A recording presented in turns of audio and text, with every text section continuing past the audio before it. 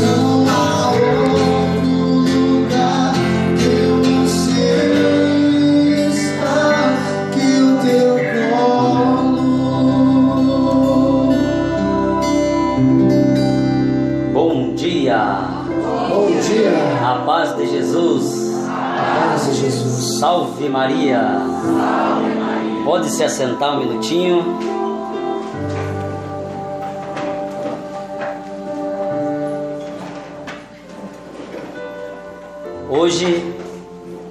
Foi passado é Maria, esposa do Espírito Santo. Eita Deus! O primeiro a usar esse termo foi São Francisco de Assis.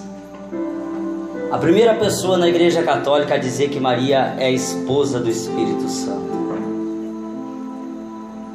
E eu gosto de falar de duas coisas na minha pregação: sobre o Santíssimo Sacramento, né? Sobre Jesus e sobre Maria Santíssima.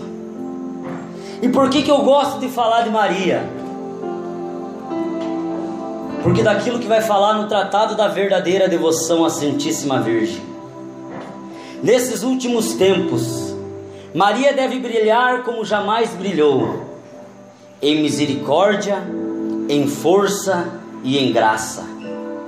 Em misericórdia para reconduzir e receber amorosamente os pobres pecadores e desviados que se converterão e voltarão para o seio da Igreja Católica.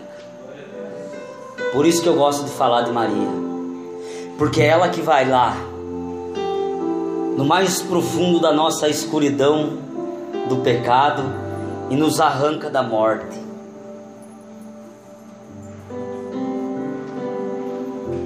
O pecado, ele começou a entrar no mundo através de uma mulher e se concretizou o nosso pecado num homem.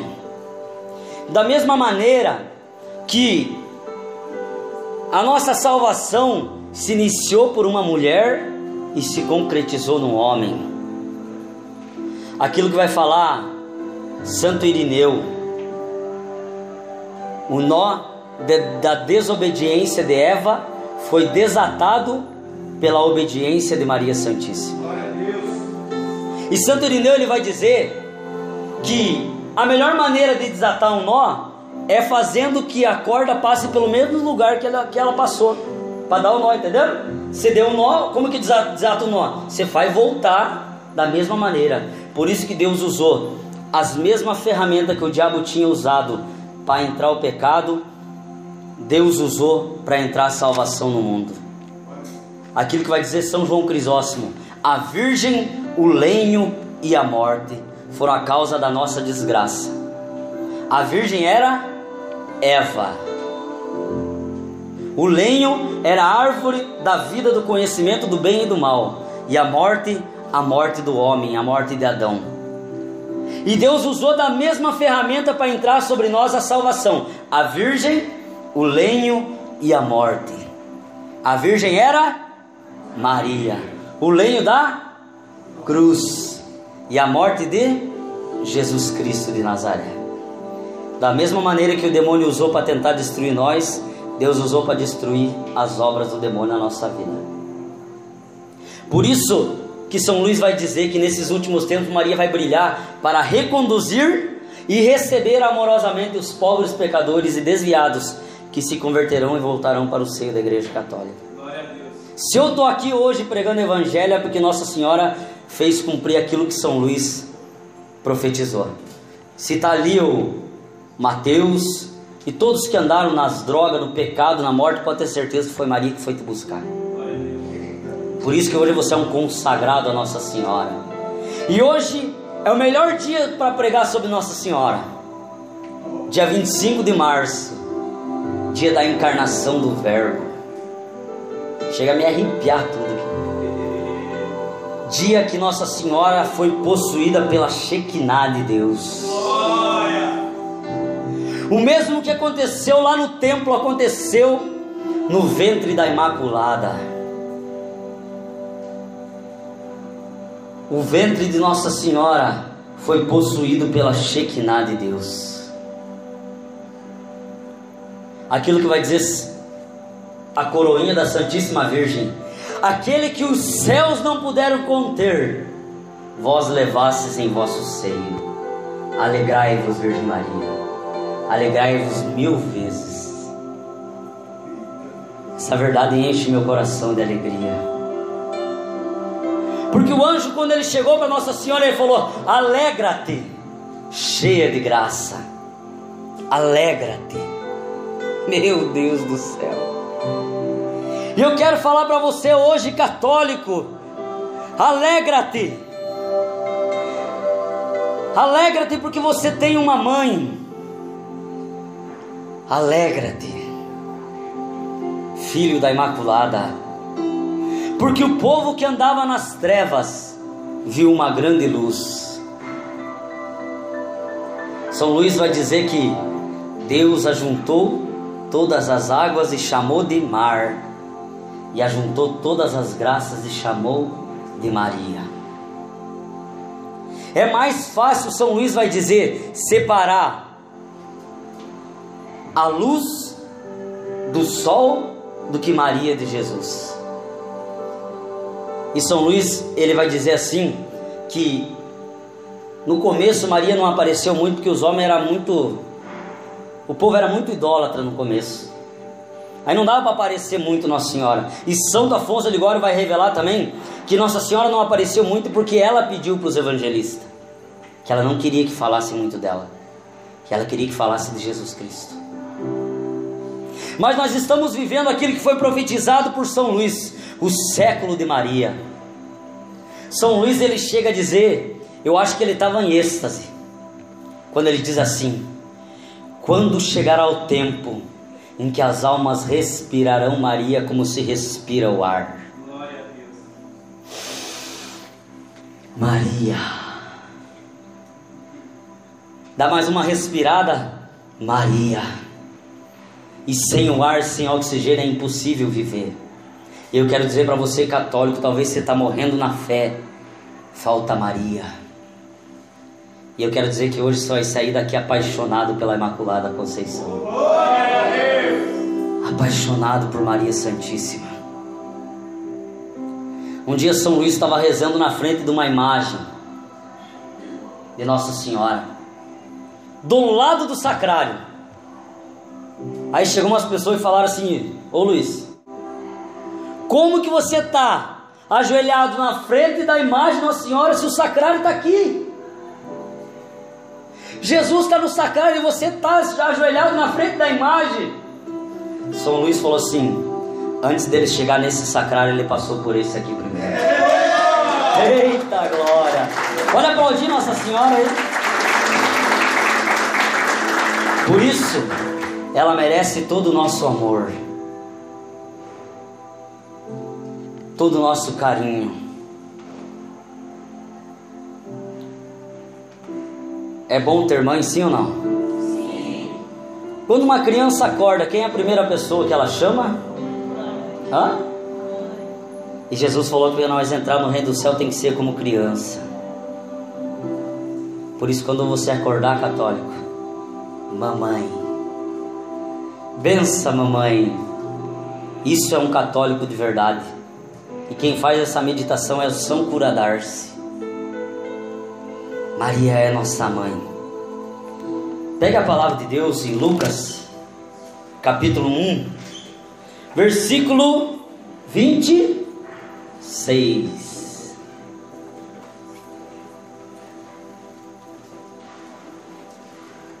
Lucas capítulo 1, versículo 26.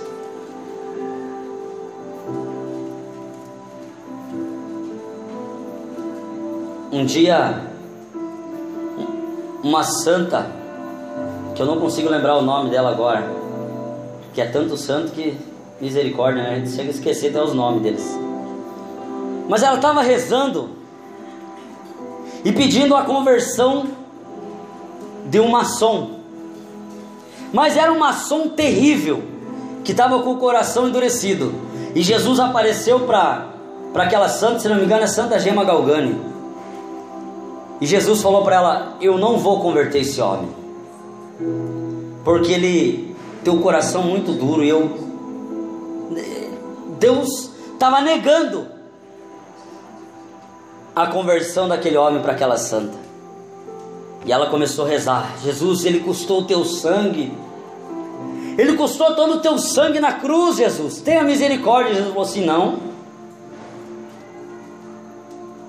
Aí a santa lembrou das bodas de Caná. Aonde Jesus falou: A minha hora ainda não chegou. Como a hora daquele maçom não tinha chegado a hora ainda. Mas diz Santo Agostinho que Jesus só fez o milagre porque foi a mãe dele que pediu.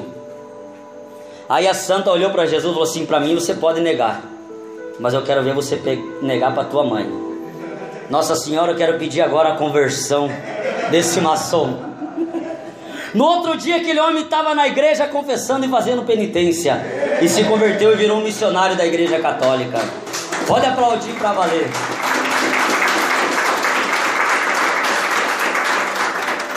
Nossa Senhora adianta um milagre na nossa vida, igual ela fez nas bodas de Caná. A minha hora ainda não chegou. Jesus que falou que não ia fazer o milagre, mas ele fez do mesmo jeito. Que quando a mãe pede o filho, um dia uma pessoa falou assim, né, um protestante falou assim: se você quiser alguma coisa na prefeitura, você vai pedir para o prefeito ou para a mãe do prefeito? Ixi, bordada, hein? Aí o pregador respondeu para ele assim: com certeza tem que pedir para o prefeito. Mas imagine se o prefeito souber que você está brigado com a mãe dele, será que ele vai atender ou não? Se o prefeito saber que você odeia a mãe dele, será que ele vai atender o pedido ou não? Por isso, se você quer receber a graça, se reconcilie com a mãe. Você gosta que fale mal da tua mãe? Mas tua mãe é pecadora, sim ou não? Se imagine a mãe de Jesus que é santa, então será que ele fica feliz quando fala mal dela? Se da nossa mãe que é pecadora nós defendemos. Eu lembro quando eu era criança, que eu era encapetado. Eu atentava todo mundo e apanhava direto. Porque não prestei nem para crescer, então apanhava direto. Eu tive uma vitória em todas as brigas que eu tive. Foi por WO. Porque o, o outro lutador não foi. Eu tava brigando sozinho, em casa que eu apanhei de mim mesmo ainda. Amém? Pegaram a palavra de Deus lá? Então vamos ler junto. No sexto mês, o anjo Gabriel foi enviado por Deus a uma cidade da Galiléia chamada Nazaré. Uma vir, a uma virgem desposada com um homem que se chamava José, da casa de Davi. E o nome da virgem era Maria. Entrando o anjo, disse-lhe: Ave cheia de graça, o Senhor é contigo.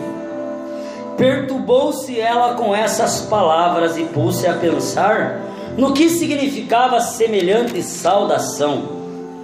O anjo disse-lhe: Não temas, Maria, pois encontrastes graça diante de Deus, de Deus. Eis que conceberás e darás à luz a um filho, e lhe porás o nome de Jesus. Ele será grande e será chamado Filho do Altíssimo. O Senhor lhe dará o trono de seu pai Davi e reinará eternamente na casa de Jacó, e o seu reino não terá fim. Maria perguntou ao anjo: Como se fará isso, pois não conheço o homem? Respondeu-lhe o anjo: O Espírito Santo descerá sobre ti, e a força do Altíssimo te envolverá com a sua sombra. Por isso, o ente santo que nascer de ti será chamado Filho de Deus. Também Isabel, tua parenta, até ela concebeu um filho na sua velhice, e já está no sexto mês aquela que é tida por estéreo, porque a Deus nenhuma coisa é impossível. Então Maria disse: Eis aqui a escrava do Senhor. Faça-se em mim segundo a tua palavra. E o anjo afastou-se dela. Palavra da nossa salvação, glória a vós, Senhor. Na tua Bíblia está escrito: Eis aqui a serva do Senhor, sim ou não? Mas não é uma, uma tradução correta. Por quê? Porque no original grego está escrito: Eis aqui a escrava do Senhor. Isso tem um porquê. O tema é Maria, esposa do Espírito Santo. Quando o povo de Israel ia celebrar o casamento, quando aquela mulher, a esposa, recebia o marido como esposo, como, como esposo, ela dizia assim: Eis aí, eis aqui a tua escrava. Por isso que quando Maria diz Eis aí tua escrava, ela estava dizendo: O Espírito Santo é meu esposo ela estava fazendo a mesma coisa que as esposas faziam quando estavam se casando. Naquela hora, Nossa Senhora se torna esposa do Espírito Santo. Ela é desposada por Deus. E tem gente que fala que Nossa Senhora não permaneceu virgem. E eu queria fazer uma pergunta para os homens que estão aqui. Se você soubesse que a tua mulher foi desposada por Deus, você teria coragem de tocar no corpo dela sexualmente? Qual homem teria coragem aqui? Sabendo que Deus tinha possuído a tua esposa, você ia ter coragem de ter uma relação sexual com ela? Embora seja uma relação sexual santa, eu não teria coragem de tocar no corpo dessa mulher, porque aquele corpo já tinha dono Agora, se eu e você sermos pecador desse jeito, não teria coragem? Imagina José, que era justo. E se José, se José era justo, jamais ele ia tocar no, na esposa do Espírito Santo. Jamais. Porque ele era puro. Santo Afonso de Ligório vai dizer no livro As Glórias de Maria que Nossa Senhora tinha feito um voto de castidade com Deus. Ela tinha consagrado a virgindade dela para Deus. Por isso, o espanto dela na hora. Por isso que Nossa Senhora falou: Mas espera aí. Se Deus sabe que eu fiz um voto com Ele, que eu consagrei a minha castidade para Ele, como que Ele vem pedir para mim ter um filho agora? Deus não ia pedir para Nossa Senhora quebrar um voto que ele tinha feito com ela. Por isso ela falou: Mas como se fará isso? Acabou o fogo aí? Manda fogo. A carne polar. Depois que eu troco ele pelo celular, ele fica bravo. Né? Uma vez nós fomos pregar. Uma vez nós fomos pregar numa outra cidade, lá ele não foi junto, eu peguei um fundo de teclado no celular. Depois eu postei a pregação no YouTube, ele escutou, ele falou, mas quem que é esse tecladista aí, rapaz? Homem é ciumento.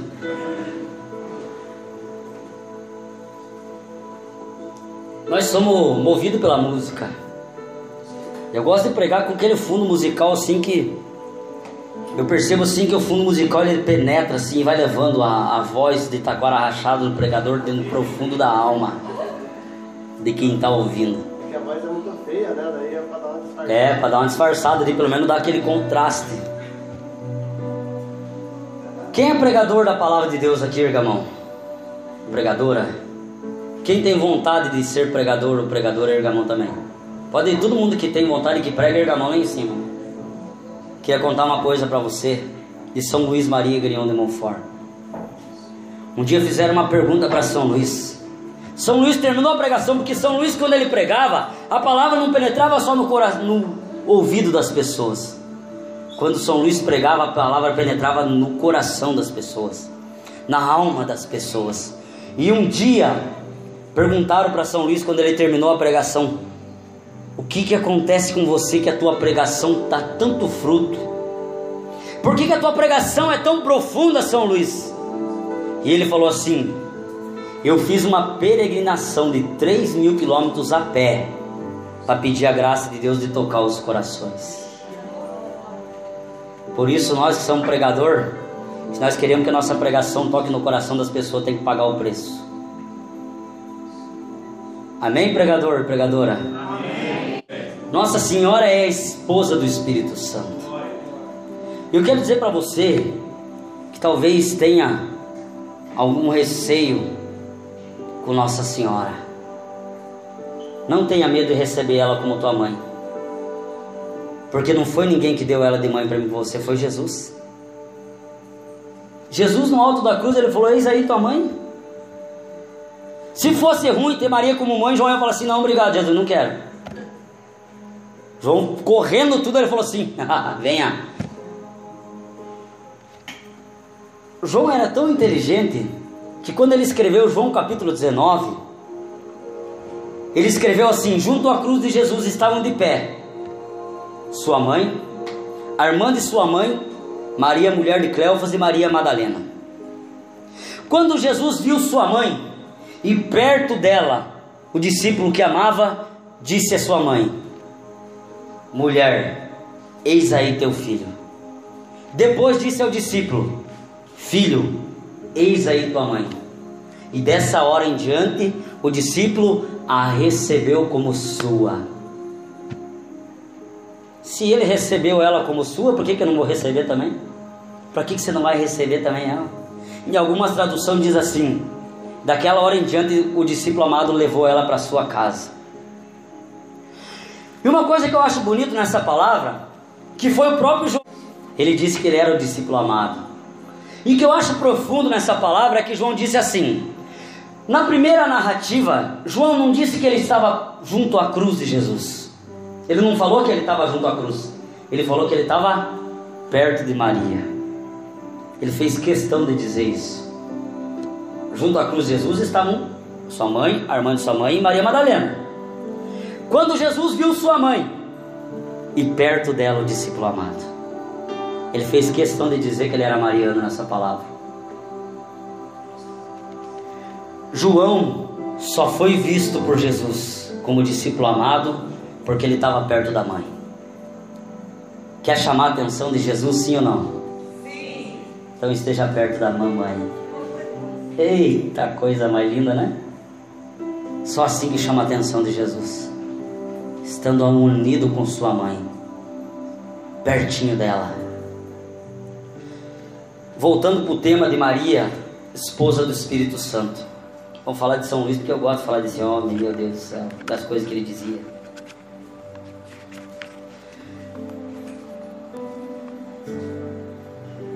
São Luís ele vai dizer assim: Deus Filho comunicou, não, não é que Deus Espírito Santo comunicou a Maria, sua fiel esposa, seus dons inefáveis, escolhendo-a para dispensadora de tudo que ele possui, que ele possui.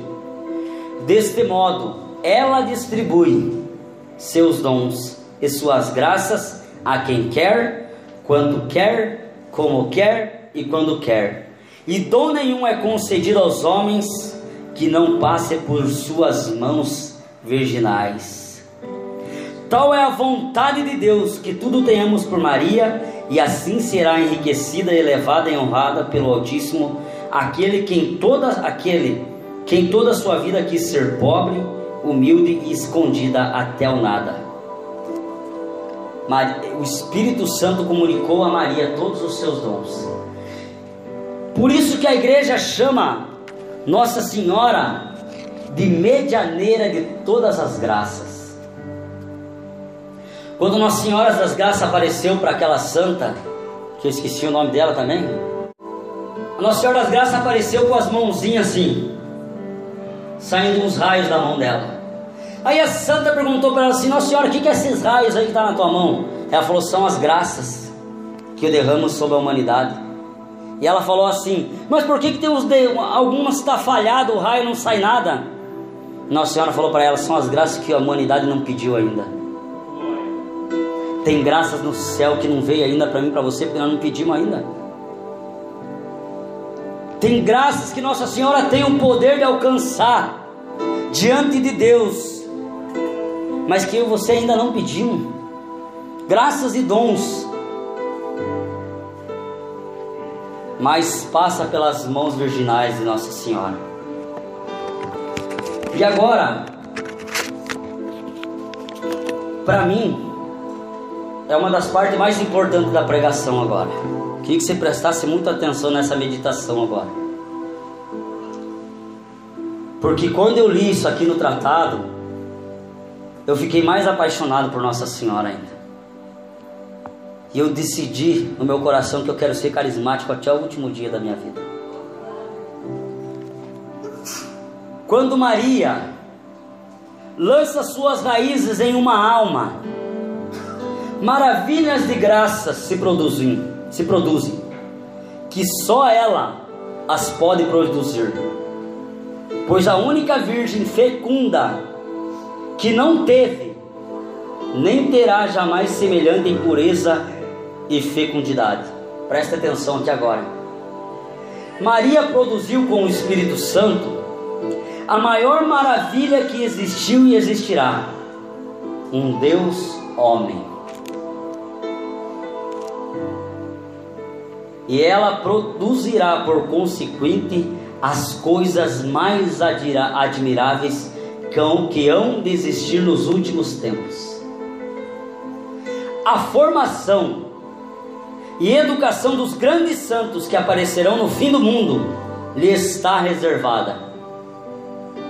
Pois só esta Virgem singular e milagrosa pode produzir, em união com o Espírito Santo, as obras singulares e extraordinárias. Traduzindo, o que, que aconteceu quando Maria foi desposada pelo Espírito Santo? Formou um Deus feito homem. E o que, que São Luís que quer dizer com isso? Que o Espírito Santo ele quer encontrar almas marianas. E quando o Espírito Santo encontra Maria reproduzida nas almas, ele desce abundantemente sobre aquela alma e produz Jesus Cristo dentro daquela alma. Olhe que coisa mais linda. Porque não consegue produzir outra coisa, a união com Maria e Espírito Santo produz Deus. A nossa alma mariana, veio o Espírito Santo sobre nós. Nós carismáticos começamos a gritar: Vem Espírito Santo. E o Espírito Santo encontra Maria na nossa alma, como que reproduzida, e ela gera Jesus em nós. Vem o Espírito Santo, encontra Maria, gera Jesus. Vem o Espírito Santo, encontra Maria, gera Jesus a ponto de eu e você chegar a dizer como o apóstolo São Paulo em Gálatas 2:20, já não sou eu que vivo, é Cristo que vive em mim. É profundo isso. Por isso nós vamos ser santos, se formos mariano e carismático do fogo do Espírito Santo. Porque o Espírito Santo vai encontrar Maria dentro da nossa alma e vai produzir Deus vai produzir Deus dentro de mim e de você. E São Luís vai dizer que através dessa produção de Deus na nossa alma, nós vamos crescendo de virtude em virtude, de graça em graça, de virtude em virtude, de graça em graça. E São Luís vai dizer que os santos formados por Maria vão caminhar em longos passos rumo à santidade. Enquanto uma pessoa ela dá um passo desse tamanho rumo à santidade, com a sua própria força, quando se une com uma alma mariana, o passo dele aumenta dez vezes mais, porque é Deus que leva ele. Quem já ouviu falar a palavra entusiasmado? Estou entusiasmado. A etimologia da palavra entusiasmado significa possuído por Deus. Por isso, quando uma pessoa fala que ela está entusiasmada, ela está dizendo que ela está possuída por Deus. É o contrário da motivação. Uma pessoa motivada, ela tem que ter motivos para estar. Tá, ah, eu estou motivada. Não. Uma pessoa possuída pelo Espírito Santo não precisa de motivos para avançar, porque ela não avança com as suas próprias forças, avança porque está possuído por um Deus. E o nome desse Deus chama Jesus Cristo Nazaré, Espírito Santo de Deus, reproduzido na nossa alma. E São Luís continua dizendo assim: ó, quando o Espírito Santo, seu esposo, a encontra numa alma, aquilo que eu ia dizendo, ele se apodera dessa alma. Imagine, quando o Espírito Santo encontra Maria na nossa alma, ele se apodera dela, fala: opa, aqui que eu quero ficar, porque a esposa dele está ali. Ele se apodera daquela alma, penetra com toda a plenitude. O Espírito Santo penetra com toda a plenitude dentro daquela alma mariana, comunicando-se-lhe abundantemente e na medida em que ele concede a sua esposa, preste atenção aqui agora. E uma das razões, porque hoje em dia o Espírito Santo não opera nas almas retumbantes, maravilhas, é não encontrar ele uma união bastante forte entre as almas e sua esposa fiel e inseparável. São Luís diz hoje, diz assim: que o motivo que o Espírito Santo não opera maravilha nas almas é porque não encontra uma união profunda com Maria nas almas. Porque se ele encontrar Maria como que reproduzida naquela alma, ele se apodera dela. E a pessoa começa a ficar entusiasmada cada dia mais. Ela essa pessoa ela é conduzida a lugares que ela jamais imaginou que ela ia chegar, a graus de santidade que ela jamais imaginou que ela ia alcançar, porque não luta mais com as suas próprias forças. E aquilo que eu dizia ontem, que São Luís ele diz que os santos que apareciam nos últimos tempos sobrepugerão a maior parte dos santos dos últimos de antigamente.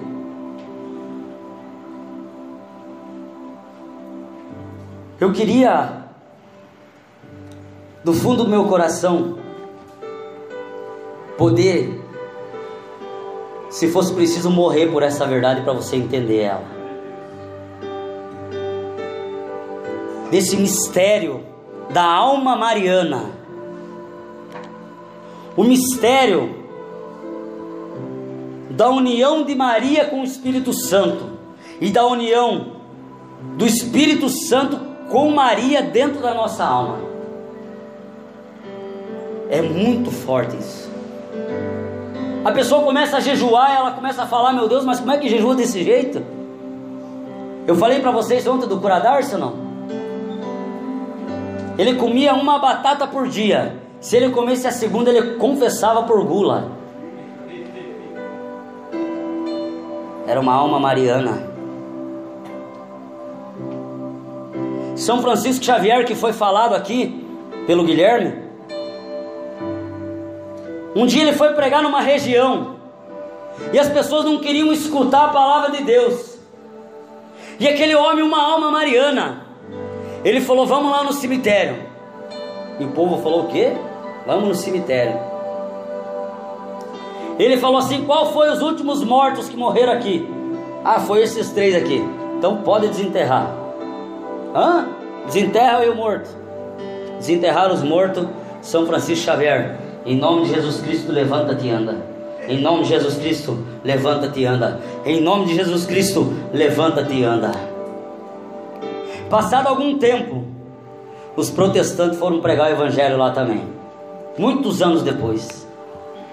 Mas aquela região estava tomada pela glória de Deus, porque um profeta passou naquela região.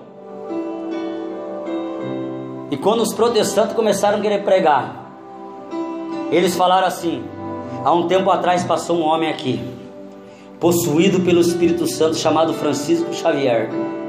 E para ele convencer nós de ouvir ele pregar a palavra de Deus, ele ressuscitou três mortos. Se vocês quiserem que nós ouça você falar, vamos lá no cemitério, quero ver se ressuscitar pelo menos três mortos.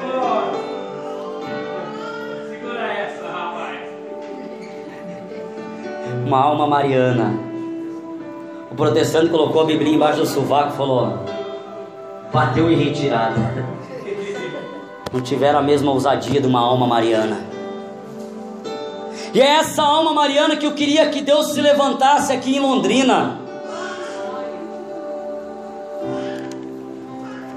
Aquilo que São Luís vai falar na carta aos amigos da cruz. São poucos, meus amigos. No meio de uma multidão ele levanta dois ou três. E não precisa todos vocês entender essa pregação. Só precisa um entender. Só um já tá bom. Só um que fale assim: Eu quero ser Mariano de verdade. E o inferno está aniquilado em Londrina. Deus levanta uma pessoa para fazer a diferença. E com todo o respeito ao irmão que está prestando um ótimo serviço, Bernardo Kilster. Mas se ele não pagar o preço por aquilo que ele está falando, vai ser só palavras. Se ele não estiver gastando a vida dele, se ele não estiver jejuando, se ele não tiver tendo a coragem de ser aniquilado pela salvação das almas, ele só vai ganhar fama, mas não vai ganhar alma. E o que nós precisamos não é fama, é alma. O que nós queremos não é palma, é alma. Se nós entendêssemos o mistério que existe numa alma mariana, porque uma alma mariana, ela é uma alma vítima. É uma alma que na hora do ofertório fala assim: Jesus, eu também quero que o meu corpo seja aniquilado nesse altar. Eu quero sangrar junto. Quero revelar para você uma coisa. Quando eu chego para comungar Jesus, lá na, na, nós temos missa diária lá. Tem um crucifixo de um Jesus bem magrinho, assim, tudo arrebentado. Eu olho para aquele crucifixo e falo assim: Jesus, eu só vou parar o dia que eu tiver assim. Arrebentado, Jesus. Eu quero morrer sofrendo, Jesus. Eu não aceito outra morte se não ser uma morte sangrenta, arrebentada, aniquilada. Um dia um homem chamado São Leopoldo Mandique as pessoas falavam assim para ele: Leopoldo, você é muito radical. Ele pegava o crucifixo e falava assim: Olha lá quem que é radical. Vocês acham que eu sou radical? Ele falava. Olhem para a cruz. Hoje, na segunda leitura, fala assim: Ele aniquilou-se a si mesmo. Aniquilou-se. E a alma mariana é uma alma que se aniquila. Porque Maria se aniquilou quando ela foi possuída pelo Espírito Santo. Ela largou todos os planos dela. Ela renunciou tudo para seguir aquele amado. Eis aqui a escrava do Senhor, faça-se em mim. Faça-se a tua vontade. Eu estou sentindo aqui que tem gente que está entendendo que na hora do altar vai, na hora da na hora da missa vai falar Jesus, eu também quero ser hóstia. Eu também quero me gastar, Jesus. Eu também quero me aniquilar, Jesus, pelas almas. Eu quero pedir agora, porque eu tenho certeza absoluta que Nossa Senhora está aqui. Eu queria pedir agora que Nossa Senhora fale no teu ouvido. Me ajude a salvar as almas. Me ajude a pagar o preço pelas almas. Nossa Senhora está falando para mim, para você, me ajuda. Porque meus filhos estão se perdendo. Ouça o grito de Nossa Senhora falando para você. As almas estão indo para o inferno. O que convenceu os pastorinhos a fazer penitência? Foi eles verem o grito das almas dentro do inferno. Aquelas almas já não tinham mais esperança, porque Nossa Senhora ela abriu o chão e mostrou aquelas almas no inferno. E São Luís vai dizer no tratado que só lá no céu nós vamos entender o que é salvar uma alma para Deus. Porque aquela alma ela custou todo o sangue de Jesus Cristo, o sangue de um Deus feito homem, um Deus que se aniquilou, um Deus que caiu por três vezes, e na terceiro levante de Jesus, ele se levantou porque ele lembrava de mim e de você. Ele lembrava do meu e do teu grito, gritando: Salva-me. Por isso que Deus levantou.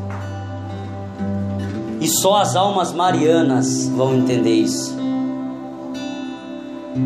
Por isso você que é consagrado a Nossa Senhora segundo o método de São Luís, você é chamado a gastar tua vida pelas almas. Porque se Nossa Senhora falou em Fátima que as almas estão indo para o inferno, porque não tem ninguém que reze e se sacrifique por elas, Nossa Senhora está levantando os consagrados dela para sofrer pela salvação das almas.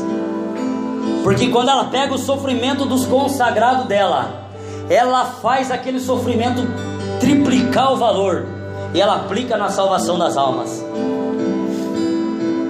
É isso que Nossa Senhora faz quando um servo de Maria sofre. Cada lágrima derramada por um escravo de Nossa Senhora, uma alma é levantada como profeta num lugar do mundo inteiro. Quando dói no teu coração a calúnia, a injustiça, quando as pessoas te jogam no chão, é para levantar outro profeta quando você sangra, é para secar feridas de muitos que estão se perdendo. Por isso, meu irmão, receba Maria agora como esposa do Espírito Santo. Receba ela como tua mãe. Porque quando ela foi visitar Santa Isabel, ela levou com ela o Espírito Santo. E quando ela entrou, quando a, a voz de Nossa Senhora entrou nos ouvidos de Santa Isabel, ela exclamou em alta voz: Bendita és tu entre as mulheres, e bendito é o fruto do teu ventre. Mas e como que Isabel sabia que Maria estava estava grávida de Deus?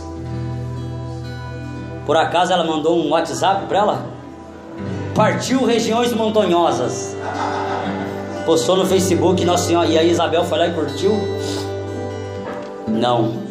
Foi o esposo da Virgem Maria que revelou para Santa Isabel.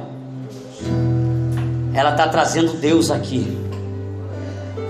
E ela falou: De onde me vem esta honra de vir a minha mãe do meu Senhor? Para Isabel era uma honra ter Maria na sua casa. E eu quero dizer para você: saia daqui honrado como Isabel, de ter Maria como mãe, como Maria na tua casa. Por um acaso é uma honra ter uma prima em casa? Claro que não. Mas não era só uma prima, era a mãe de Deus que estava na casa dela. Era Teotocos. É aquela que era mais temível que um exército em ordem de batalha é ela que estava lá. E o Espírito Santo que revelou para Santa Isabel. E quando Isabel exclama em alta voz, o que eu acho bonito nessa palavra é porque nós carismáticos também gostamos de exclamar em alta voz, já perceberam ou não? Quando nós ficamos possuídos no Espírito Santo, nós exclamamos em alta voz também. Quando alguém fala para você, pare de gritar, você fala, sou discípulo de Santa Isabel. Quando eu recebo o Espírito Santo, eu exclamo em alta voz. Carismático, cheio do fogo do Espírito Santo, clama em alta voz. E eu quero dizer uma coisa para você. Se Isabel estava cheia do Espírito Santo e falou: Bendita és tu entre as mulheres, Eu quero falar para você, aquelas vozes que estão gritando dizendo que Maria é uma mulher qualquer não estão possuídas pelo Espírito Santo. Porque uma alma que está possuída pelo Espírito Santo fala que ela é bendita entre todas as mulheres. Qualquer outra voz, meu irmão, é um espírito maligno que está falando. Não é Deus que está falando na boca dessas pessoas. Amém? Vamos rezar agora, sentir o cheiro de rosa de Nossa Senhora aqui ou não? Ela está aqui. A mãe está aqui. E eu não sei a batalha que você tem enfrentado. Mas eu sei que quando eu era criança, quando eu estava passando por dificuldade, eu gritava para minha mãe. Toda criança, quando cai, ela não grita pai, ela grita mãe. Caiu, se arrebentou, tudo ralou o joelho. Mãe! Minha mãe vai lá e abraça. E pode estar tá partido o joelho, não dá nada. A mãe está ali. Pode chamar o melhor médico que for, não adianta. Ela quer a mãe. Fecha os teus olhos um minutinho. E eu vejo Nossa Senhora indo em tua direção agora. E a palavra de Deus fala o Espírito Santo vos convencerá. E se até agora a minha palavra não te convenceu ainda, eu vejo Nossa Senhora, esposa do Espírito Santo, indo até você agora e te convencendo de que você é um escolhido, uma escolhida para a salvação das almas. É você que Deus escolheu. E ela está aqui em nosso meio. Viva. E ela te abraça agora. Eu vejo Nossa Senhora te abraçando agora. Falando para você, vamos comigo. Vamos porque eu quero te levar a muitos lugares ainda. Eu quero que a tua voz seja a minha voz. Maria está falando para muitos agora. Eu quero que o teu coração seja o meu coração para amar as pessoas, para amar as almas. Eu quero que a tua mão seja as minhas mãos, para tocar na ferida daqueles que estão sangrando. Eu vejo Nossa Senhora derramando agora a fé dela sobre a nossa vida.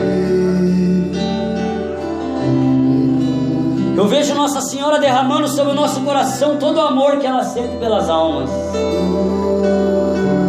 Eu vejo ela derramando agora sobre o teu coração um amor. Porque São Luís vai dizer que os apóstolos dos últimos tempos iam carregar o incenso da oração, a mirra da mortificação e o ouro do amor. Eu vejo Nossa Senhora derramando o ouro do amor no teu coração agora. E você sente vontade de chorar agora, meu irmão. É Nossa Senhora que está te visitando agora. É o Espírito Santo que está possuindo a tua alma. E você está tendo uma experiência que você nunca teve. E você é uma alma mariana, uma alma escolhida. Pode chorar, porque o choro da tua libertação é o grito que estava engasgado no teu coração. E Nossa Senhora revela no meu coração que vai acontecer uma mística aqui agora. Muitas pessoas vão chorar agora. E o choro é o choro das almas gritando: salva-me. É as almas que vão chorar em você agora. É o grito daqueles que estão desesperados. Você vai sentir agora no teu coração o desespero daquelas pessoas que estão se perdendo. A mesma coisa que os pastorinhos experimentaram. Nossa Senhora está te dando agora um amor pelas almas. E você vai sentir agora aquelas pessoas pedindo socorro. E se você chorar, você está chorando por aquelas almas que estão se perdendo. Eu vejo o Espírito Santo desposando muitas almas agora. E eu te peço agora, Jesus, que aconteça agora aquilo que aconteceu com Nossa Senhora. Sobre a nossa alma, uma Shekinah agora, Deus. Visita nós agora, Espírito Santo. Como o Senhor visitou Maria Santíssima. Visita agora, Espírito Santo. Visita, Espírito Santo. Vem, Espírito Santo. Virgem Maria. Porque a tua noiva está aqui.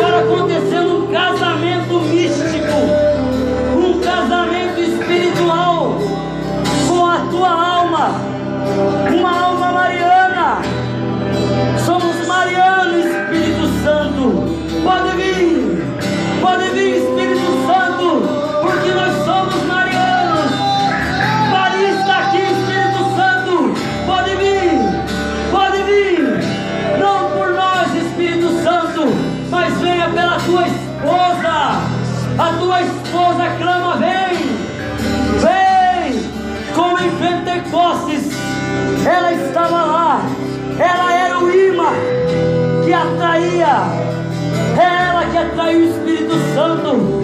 Então vem, Espírito Santo, vem com abundância.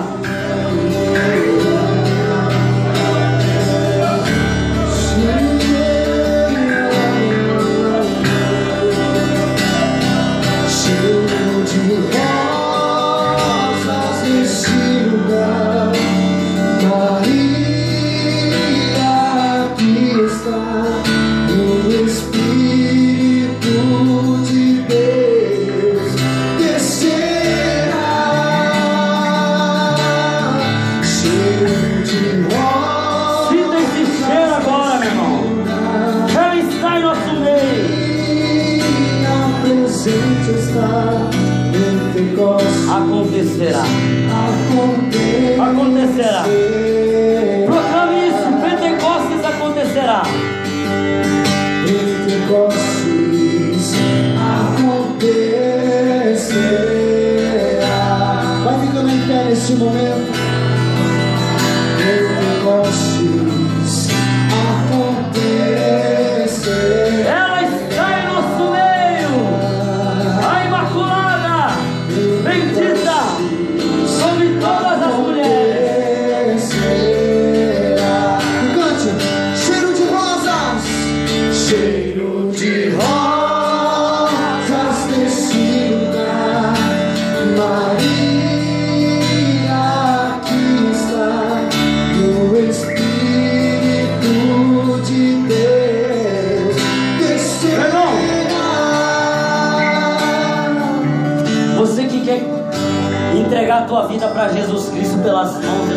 Senhora, vem aqui entregar a tua vida para a mãe aqui agora. Você que quer ajudar Nossa Senhora a salvar almas. Você que sentiu o chamado a entregar a tua vida pela salvação das almas, hoje é o dia. Hoje é o dia. Por excelência que Maria foi visitada pelo Espírito Santo. Tua vida agora, meu. Cheiro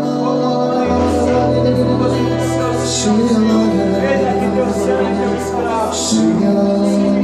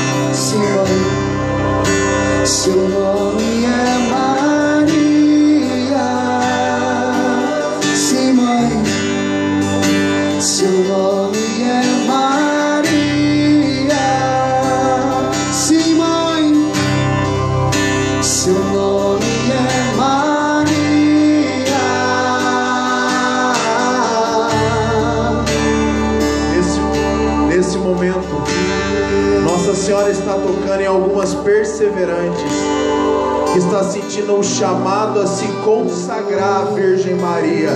Quem são vocês, perseverantes?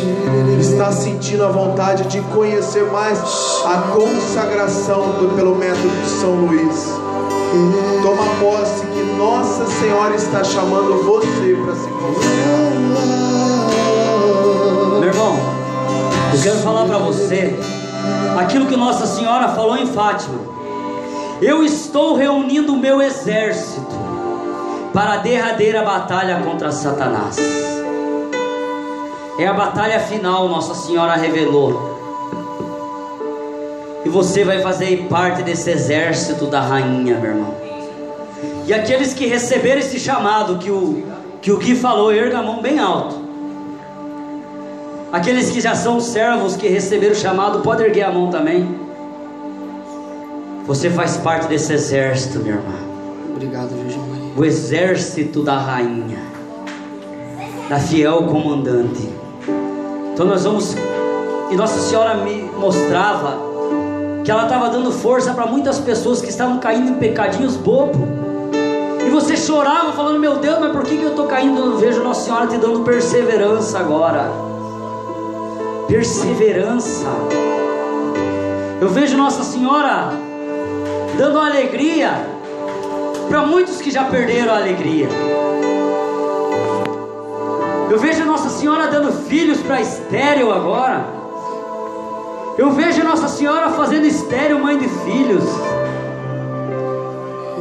Mas não só filhos físicos, mas eu vejo Nossa Senhora dando filhos espirituais. E Nossa Senhora revela no meu coração que algumas pessoas que estão aqui no nosso meio vão começar a sonhar com algumas pessoas. E essas pessoas são filhos espirituais que Nossa Senhora vai te dar. E aquelas pessoas vão se salvar pelo teu sofrimento. Vão se salvar pelas lutas que você vai enfrentar. Vão se salvar pela batalha que você vai enfrentar e que você enfrenta até hoje. Aquelas pessoas, tem gente que já sonhou com algumas pessoas, você sabe quem que é esses aí? São pessoas que iam se perder. Mas Nossa Senhora vai levantar você para salvar essas almas. E ela agora coloca agora um amor.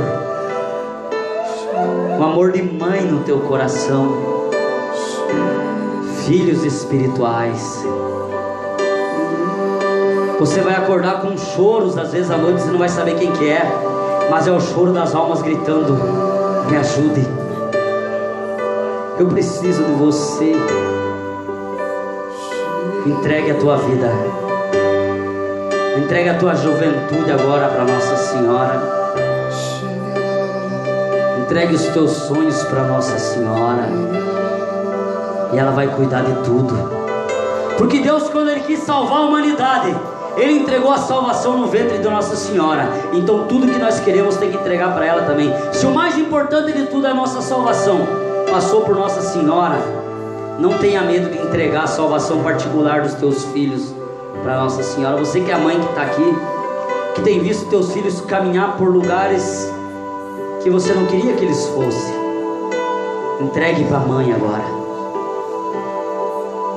Um dia, quando a minha mãe engravidou de mim, ela pôs a mão na barriga e falou assim: Nossa Senhora, eu não vou poder caminhar com esse meu filho por onde ele passar, mas cuide dele, Nossa Senhora, por onde ele for. E mesmo que o inimigo me judiou, ele fez o que ele pôde o que ele não pôde na minha vida. Mas um dia, porque minha mãe tinha entregado eu para Nossa Senhora, Nossa Senhora apareceu, deu um chute na cara do Satanás e falou: Sai daqui, Satanás, porque eu cheguei aqui primeiro. Maria chegou antes na minha vida, minha irmã. E os teus filhos são consagrados, Nossa Senhora. Por isso não tenha medo, porque eles não vão se perder. Porque Nossa Senhora não deixa se perder um filho dela. Não tenha medo, minha irmã. Glória a Deus. Você que tem visto teu pai ir para caminho errado, não tenha medo, ele não vai se perder. Porque Nossa Senhora está visitando ele agora. A mãe visita o teu pai. E mesmo que ele vá até o final caindo e levantando, mas a salvação dele está sendo gestada agora no ventre da Imaculada.